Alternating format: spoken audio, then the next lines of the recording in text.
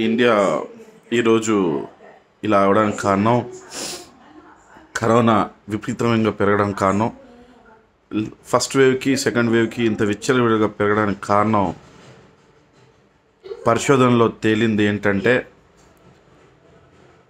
వాస్తవానికి కరోనా వచ్చిన ఫోర్టీన్ డేస్కి రికవర్ అయ్యే ఛాన్సెస్ ఎక్కువ ఉంటాయి. నార్మల్గా క్యా శాచురేషన్స్ పడిపోయినంత వరకు కరోనా నుంచి మనకు ఎటువంటి ప్రాబ్లం ఉండదు.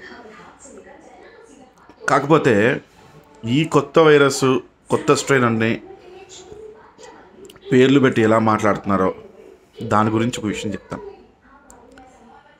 ఏం జరుగుతుంది ఈ కరోనా పేషెంట్లకి అని అంటే ఇప్పుడు కరోనా వచ్చిన వాళ్ళందరికీ ఏం జరుగుతుందంటే కరోనా సిమ్టమ్ కనపడంగానే ఆర్టీపీసీఆర్కి స్టార్ట్ చేయంగానే అందరూ అసలు కరోనా ఎలా వస్తుంది అని అంటే ముక్కు ద్వారా మనకు కళ్ళ ద్వారా నోటి ద్వారా వచ్చి వస్తుంది కరోనా. ఇది ముక్కులు ముక్కు ద్వారా వచ్చి ఎక్కడ మనకు ముక్కు ద్వారా వచ్చిన తర్వాత ఈ సెన్సిటివ్ పార్ట్స్లో ఉండిపోద్ది. ఈ ఈ- ఇప్పుడు మనం అనుకున్న ఈ సెన్సిటివ్ పార్ట్స్లో దీని పారానాసల్ రీజియన్ అంటాము. ఇగో ఈ ఏరియా మొత్తం. ఈ ఏరియా మొత్తం ఉంటుంది. దీని లోపల అది కరోనా పార్టికల్స్ అంటే మనకి ఎపిథీలియల్ రేంజ్ అంటే మనకు ముక్కుకి మెంబ్రెయిన్ ఉంటుంది లోపల నాస్ట్రల్ నాస్ట్రల్స్లో. దాని చుట్టూ మనకు కరోనా పార్టికల్స్ అన్నీ సెటిల్ అయి ఉంటాయి. దాంతో మనకు ఎందుకు ముక్కులో పెట్టి చేస్తున్నారంటే ముక్కులో నుంచి చూస్తే దాంట్లో ఆ కరోనాకు సంబంధించిన వైరస్ ఏదైతే ఉందో మనకు ఆర్టీపీసీఆర్ అనే టెస్ట్ ద్వారా మనకు అంటే థర్టీ ఫైవ్ సైకిల్స్ ఉంటాయి. ఫస్ట్ నుంచి థర్టీ ఫైవ్ సైకిల్స్లో ఎక్కడో ఒక దగ్గర కరోనా వైరస్ డిటెక్ట్ అవుతుంది. అందుకే మీకు సిటీ స్కోర్స్లో కరోనా ఆర్టీపీసీఆర్ పాజిటివ్ దగ్గర డిటెక్టెడ్ అని ఇచ్చి కింద నంబర్ ఇస్తున్నారు. ట్వంటీ ఫైవ్ సెవెంటీనో సిక్స్టీనో ఎయిటీనో ఇస్తున్నారు. థర్టీ ఫైవ్ సైకిల్స్లో ఒక్కొక్క సైకిల్స్లో ఏ సైకిల్లో అయితే థర్టీ ఫైవ్ సైకిల్స్ చేస్తూ ఉంటే one two three four five six seven eight nine అట్లా థర్టీ ఫైవ్ సైకిల్స్ చేస్తూ ఉంటే ఏదో ఒక సైకిల్లో మీకు వన్ టు థర్టీ ఫైవ్ దాంట్లో ఆ సైకిల్లో తెలిసిపోతుంది. అంటే సెవెంటీన్ దగ్గర దొరకవచ్చు లేదా ట్వంటీ వన్ దొరక దొరకవచ్చు థర్టీ ఫైవ్ దగ్గర దొరకవచ్చు ఇక్కడ ఏంటంటే థర్టీ ఫైవ్ సైకిల్స్లో మనకు డిటెక్ట్ అవుతుందంటే ఇట్స్ నాన్ స్ప్రెడింగ్. మన దగ్గర నుంచి పది మందికి వెళ్ళదు. Twenty five twenty six twenty seven twenty eight twenty nine అని అంటే మన సివిఆర్టీ లో సైకిల్స్లో దొరుకుతుందంటే ఎర్లీ డిటెక్టింగ్ అనమాట one two seventeen sixteen fifteen twenty అట్లా డిటెక్ట్ అయిన దగ్గర కరోనా మనకు అక్కడి నుంచి ఇంకో వరకు స్ప్రెడ్ అయ్యే అవకాశం ఎక్కువ ఉంటుంది. ఇప్పుడు మనం మాట్లాడే సబ్జెక్ట్ ఇంపార్టెంట్ టాపిక్ ఏంటంటే మన కరోనా వచ్చిందనే బా ప్రాబ్లం ఏం లేదు. ఎప్పుడు ప్రాబ్లం అవుతుందనంటే ఈ కరోనా పార్టికల్స్ అవి లంగ్స్కి ఎంటర్ అయినప్పుడు. దానంతట దాని ఎంత ఎంటర్ అవుతుందనంటే దానికి టైం ఉంది. కానీ దానికంటే ముందు మనం ఏం చేస్తున్నామంటే first day second day positive రాగానే ఓ తెగ మనము ఇన్హలేషన్స్ చేస్తున్నాం. ఇంత ముందులో ఇన్హలేషన్ చేస్తే కరోనా తగ్గుతుందని చెప్పే వార్త కూడా వాస్తవం కానీ ఇప్పుడు నేటి పరిశోధన పరిశోధనలో తేలింది ఏంటంటే ఈ నాస్ట్రల్లో ఉండే రీజియన్లో మనం ఆవిరి పడడంతో ఆవిరి అంటే మనము కొంతవరకు అడ్వాన్స్డ్ అది ప్రెషరైజ్ ప్రెషర్ తోటి తీసుకున్న ఆ యొక్క వేపర్ మన ముక్కులోకి ఎంటర్ అవుతుంది. ఎంటర్ అయిన తర్వాత మనం గట్టిగా గాలి పీల్చుకుంటాం. పీల్చుకున్న తర్వాత లంగ్స్ అన్నీ డైరెక్ట్గా ఓపెన్ అయిపోతాయి. ఓపెన్ అయిపోయిన తర్వాత ఇన్హలేషన్స్లో అని తీసుకున్న తర్వాత ఇమ్మీడియట్గా ఈ ముక్కులో నుంచి ఈ పార్టికల్స్ ట్రాకియా ద్వారా మనకు లంగ్స్కి వెళ్ళిపోతుంది. అంటే ఎంతో కొంత కరోనా పార్టికల్ని మన వేపరైజేషన్ మెథడాలజీ వల్ల దాంట్లో ఉండే ఎయిర్ పార్టికల్స్ ద్వారా మనం ఎంతో ఉండే కరోనా పార్టికల్స్ని మనమే తీసుకెళ్ళి లంగ్స్లో పెడుతున్నాము. ఈ లంగ్స్లో ను- ముక్కులో ఉండేదాన్ని సెవెన్ టు ఎయిట్ డేస్లో మనకు ఆ కరోనా ప్రోటీన్ ఏదైతే ఉందో అది వీక్నెస్ అయిపోయి మనకు నార్మల్గా లంగ్స్కి వెళ్ళినా కూడా వన్ టూ త్రీ కొరాయిడ్స్ రేంజ్లో వెళ్తుంది. కానీ సివిఆర్టీ పెరగదు. ఎప్పుడైతే ఇన్హలేషన్ స్టార్ట్ చేస్తామో మన స్టీమ్ ఇన్హలేషన్స్ తీసుకుంటున్నామో మన వాంటెడ్గా మనము దాన్ని తీసుకెళ్ళి మన ముక్కు ద్వారా గట్టిగా పీల్చుకున్న తర్వాత ఆ పార్టికల్స్ ఎంతో కొంత చిన్న పార్టికల్ అయినా చాలు విషయమే ఆ పార్టికల్స్ని మనం తీసుకెళ్ళి డైరెక్ట్గా మన ట్రాక్యుల ద్వారా చిన్న చిన్న పార్టికల్స్ వెళ్ళిపోయి లంగ్స్లో సెట్ అవుతుంది. లంగ్స్ ఏం చేస్తుంది అంటే ఏదైనా తీసుకునే తొందరగా దాన్ని తీసుకునే కెపాసిటీ లంగ్స్కి ఉంటుంది. అంటే అది సాఫ్ట్ ఆర్గాన్ కాబట్టి అది తీసుకునే కెపాసిటీ ఎక్కువ ఉంటుంది. తీసుకొని ఏం చేస్తుందంటే ఆ పార్టికల్స్ లంగ్స్ పైన సెటిల్ అవుతున్నాయి.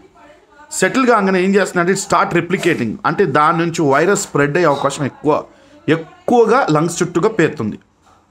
అంటే ఒక్కొక్క చిన్న చిన్న పార్టికల్స్ రిప్లికేట్ అయిపోయి లెజన్స్గా ఫామ్ అయ్యి మనకు లంగ్స్ యొక్క సీవియారిటీని పెంచుతుంది.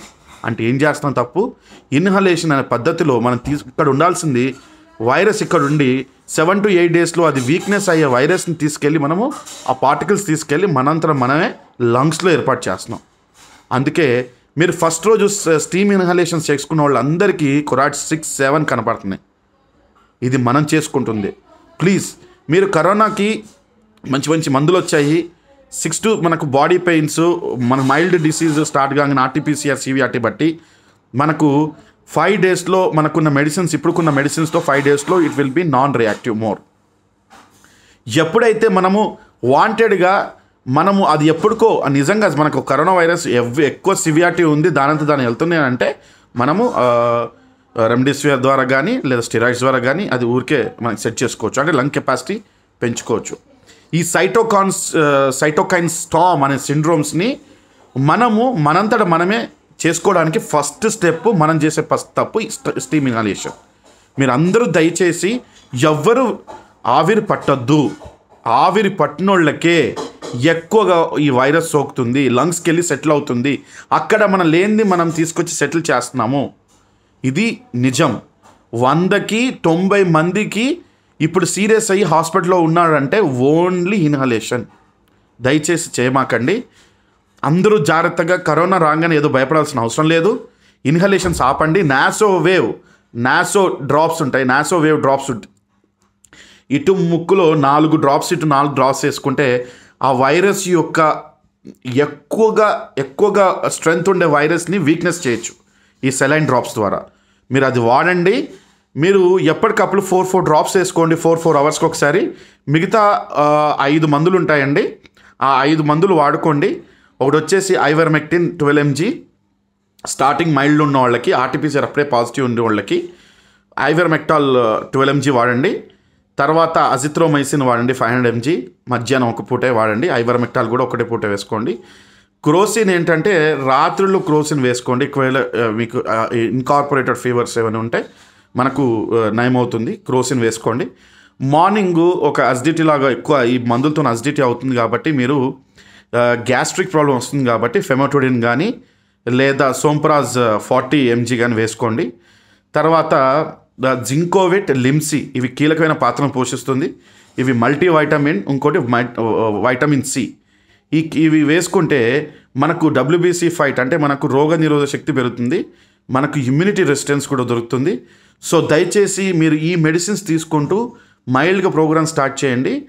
తర్వాత ఏమైనా డౌట్స్ ఉంటే మమ్మల్ని సంప్రదించండి మేము చెప్తాము. కానీ ఎట్టి పరిస్థితుల్లో స్టీమ్ ఇనాలేషన్ చేయకండి.